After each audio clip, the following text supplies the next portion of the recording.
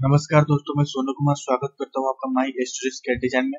दोस्तों, आज हम बातें करेंगे आपको मिरर एस्ट्रिस और स्केल ये देखिए, यहाँ पे है मिरर ये है स्केल और ये है स्ट्रेच इन तीनों कमांड के बारे में डिटेल में पढ़ेंगे, ठीक है? पहले हम जान लेते हैं मिरर कमांड क्या है। मिरर कमांड आप जनरल भाषा में हम जानते हो मिरर क्या है।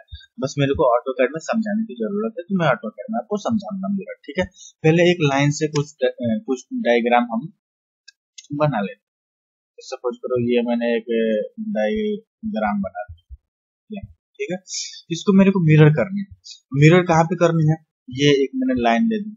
इस लाइन के इस साइड इस साइड मेरे को, ये सारा के सारा सारा के सारा ऑब्जेक्ट जो है, ये मेरे को मिरर करना है, ठीक है?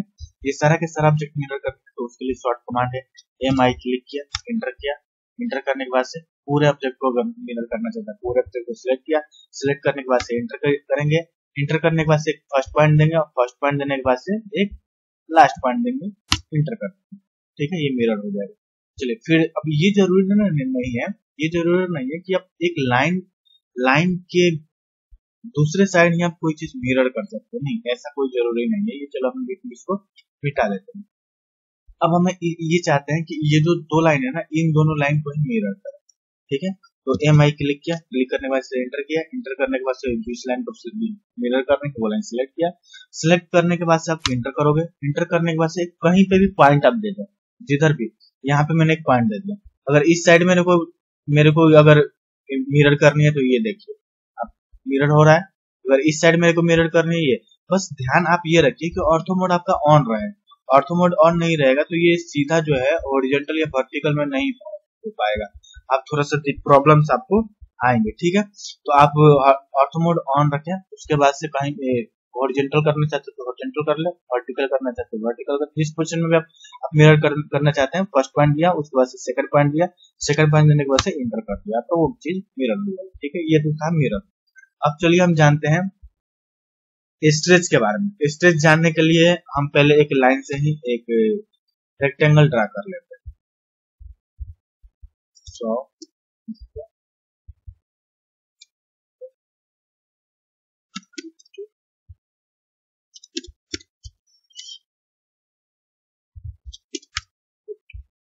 ये हमारा है रेक्ट इसको हम डायमेंशनिंग कर लेते हैं.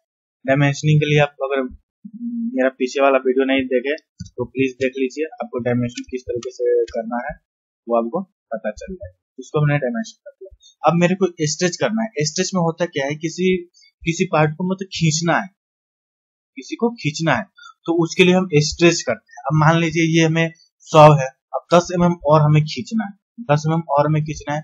तो या तो स्ट्रेच में स्ट्रेच यहाँ पे आकर हम सिलेक्ट कर लेंगे, नहीं तो इसका शॉर्ट कमांड है। एस एस क्लिक किया इंटर किया? इंटर करने के बाद से सिलेक्ट कर लो, इसको खींचना है। इन तीनों लाइन को खींचेंगे तभी तो ये बढ़ेगा हमारा। ये तीनों लाइन को सिलेक्ट किया सिलेक्ट करने के बाद इंटर किया। इंटर करने के बाद से कहाँ से खींचना? मिड पॉइंट से खींचना चाहते हो? कहाँ, कहीं पे भी खींचना चाहते हो? हमने ये पॉइंट दे दिया। और इस पॉइंट से कितना खींचना है? दस खींचना है। अगर आपको बढ़ाना है तो आगे की तरफ़ ड्रा कर दो। अगर घटाना है आपको तो इसके अंदर की तरफ़ करोगे। इसको साइड बता दोगे, वो आपको ले लेगा। हमारे को दस बढ़ाना है। दस मैंने क्लिक किया इंटर ये देखिए, एक सौ दस हो फिर से मेरे को इसको माइनस करनी है मैं चाहता हूँ कि इसको नब्बे कर दू। तो नब्बे कर दो तो फिर से इसको एस किया। एस क्लिक करने के बाद से इसको सिलेक्ट किया। सिलेक्ट करने के बाद इंटर किया। इंटर करने के बाद से पॉइंट दिया। पॉइंट से मैं घटाना चाहता हूँ तो अंदर की तरफ़ लेना चाहता हूँ तो 110 था। तो 110 में से मेरे को 90 बनानी है। तो 110 में से मैं कितना घटाऊँगा कि 90 हो जाएगा? हमारा 20 घटाएँगे तो हमारा 90 हो जाएगा। ट्वेंटी क्लिक किया और इंटर कर दिया, ये देखिए आपका नंबर ठीक है?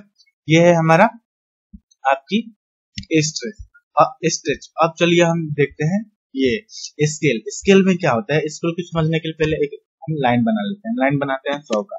सौ का हमने लाइन बना लिया। अब इसको हम डायमेंशन कर लेते हैं। सौ का लाइन अब इसको हमें स्केल करनी है। स्केल में भी क्या होता है कि इसको हमें कितना बढ़ाना है? अभी सौ का कितना गुना हमें बढ़ाना है? एक गुना, दो गुना, तीन गुना उस टाइप से इस स्केल में बढ़ता है। जैसे सपोज़ करिए स्केल का शॉर्ट कमांड होता है एस और सी ठीक है? इंटर किया इंटर करने के सिलेक्ट किया सिलेक्ट करने के बाद से इंटर कर दिया। अब कहाँ से आपको बढ़ाना है? उसके लिए आपको इस कोने से बढ़ाना है, या फिर इस कोने से बढ़ाना है, या फिर आपको सेंटर पॉइंट से बढ़ाना है सेंटर से बढ़ाना है। चलिए, हम इसमें सेंटर से बढ़ाते हैं। so हम, मैं चाहता हूँ कि इसको 200 कर दूँ। 200 करने के लिए मेरे को क्या करना पड़ेगा? इसमें दो से गुना करना पड़ेगा। दो से गुना करने बाद टू क्लिक करूँगा और इंटर कर दूँगा। ये देखिए 200 का हो जाएगा।